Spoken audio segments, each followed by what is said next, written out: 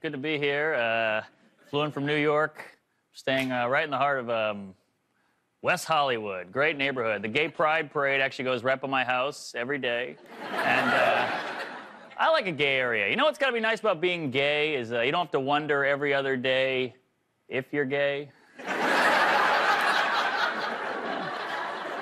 just done with it. I like dudes. I'm going to work, you know? You can, you can just enjoy a pool party. You don't have to be confused. I, know, I look at gay men the same way I look at marijuana. You know, when I was younger, I was like, ah, not for me. But now that it's more accepted, I'm like, eh, I'll dabble.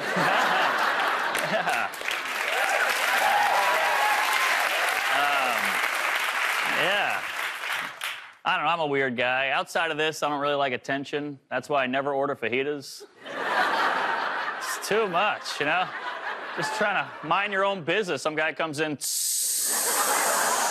Like, can't you finish cooking that before you leave the kitchen? Man. Ordering fajitas is like hanging out with your friend that vapes too much. You're like, dude, I'm glad you're here, but come on, it's embarrassing. Yeah, uh, they should have a way for guys like me to order them. Like, I'll take the chicken fajitas introvert style. guys like, all right, chicken fajitas hold the spectacle. Got it. Um, you guys, uh, I'm a little hungover. Not gonna lie to you. I got to cut back on the drinking. I drink too much. Sad, I've actually lost a lot of friends to sobriety. And, uh, yeah. Alcohol is really the only vice where when someone quits, you get annoyed. You know? You know, if your friend's like, I'm gonna quit doing crack, you're never like, but what about the wedding?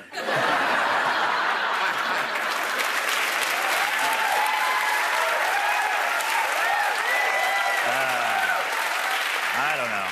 I feel like if I'm addicted to any drug, my drug of choice is being late.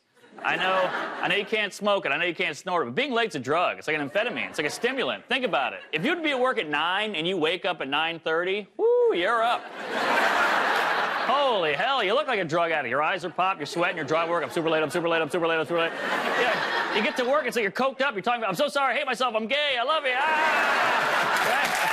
Oh, man, it's bad.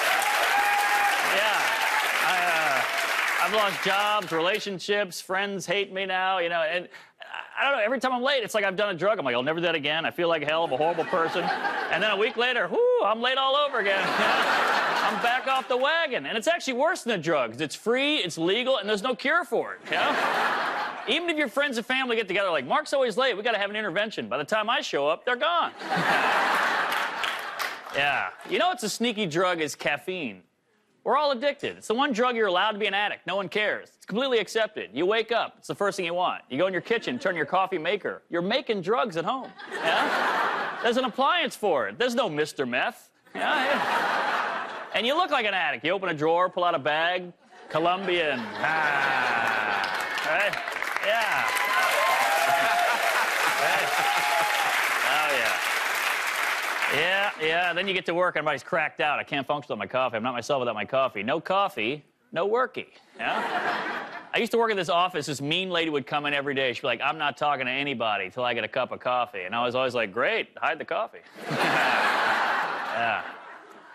Um, I was at a coffee shop earlier. Man, so many beautiful women in this city. My God, it, it's got to be hard to be a lady because you're constantly judged by your looks.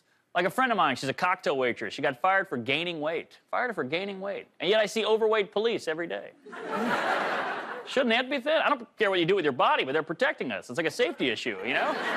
She's bringing chicken wings to a table. I mean, she might eat one. These are police. I went to Europe once. The cops didn't have guns. They don't need them. They can chase people, tackle them. They're fit. We need guns in America. We're lazy. Just, I'm not running.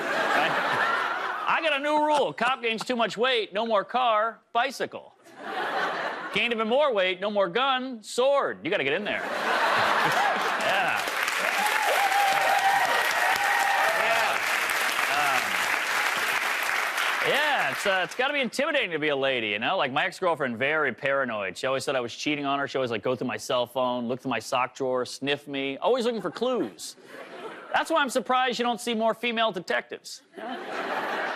Women would be amazing at that. You guys are intuitive, you're curious, you're persistent. I feel like you ladies would crack every case as long as you thought it was personal. That's the key. Like, man, this guy killed 18 people in Fresno. So what? Well, he's also cheating on his wife. Give me the file. All right, hey. Thanks a lot. I'm Kevin Hart. Have a good night.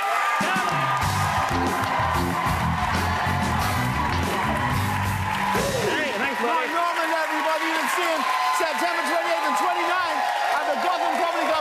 City. We'll be right back, everybody. That was great. Thanks.